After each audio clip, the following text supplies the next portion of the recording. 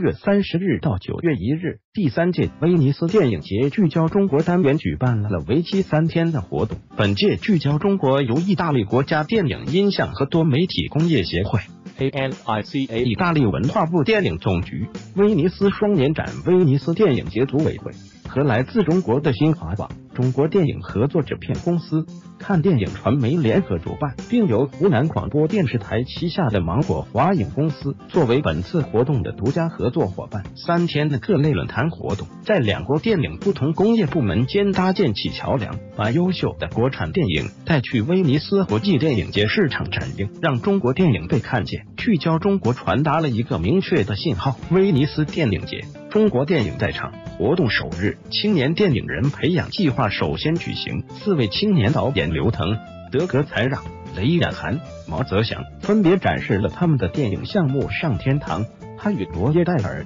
火山上的恋人、野马。看电影出版人三木，导演谢飞，编剧高晨书，制片人 Alexandro Silvestri 从各自的专业角度提出了建议。四位青年导演都是从青通计划等各类国内电影创投项目中脱颖而出，聚焦中国，关注他们，将层层选拔出的高水平年轻电影人展示给国际市场。中国电影的未来也许就在他们身上。聚焦中国第二日活动从展示青年电影力量，转向众艺双方的沟通交流。众艺影人对话论坛聚集了新华网欧洲传播运营中心总经理潘志 ANICA 罗伯特斯塔比勒，ANICA 制片人部主席弗朗西斯西马，意大利国家影视公司 CEO 保罗德尔布洛克，导演谢飞，风宇宙第一出品人陶虹，风宇宙制片人刘瑞芳，完美陌生人导演保罗格诺维塞，看电影杂志出版人三木等。中国电影人非常关心的是如何制作出受到特定市场欢迎的电影，而导演保罗格诺维塞则有不同意见。不要追着观众，不要给观众他喜欢的东西，要给他的是他未曾接触的东西，接触后才知道这个他也会喜欢。陶虹出品《风宇宙》，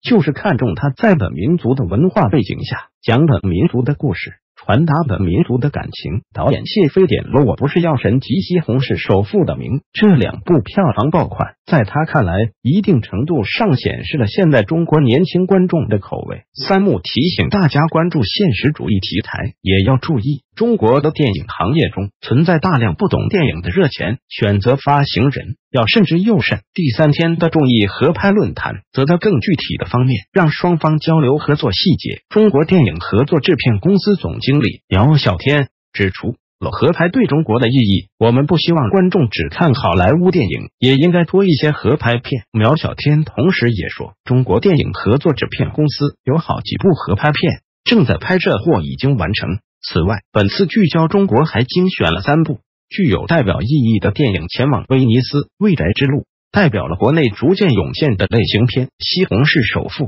代表了受到热捧的票房爆款，《风宇宙》则代表了正在崛起的国漫电影主创们也同时来到电影节红毯，《风宇宙》第一出品人陶虹。风宇宙制片人刘瑞芳以及未宅之路主创团队，风宇宙剧组还不远万里从国内带来了动画小周边，并由陶虹亲自派发给现场观众。来到现场的观众有特意从威尼斯赶来的留学生，还有未宅之路剧组演员明道和各大媒体。未宅之路在威尼斯的放映不仅得到了观众欢迎，也赢得了奖项肯定。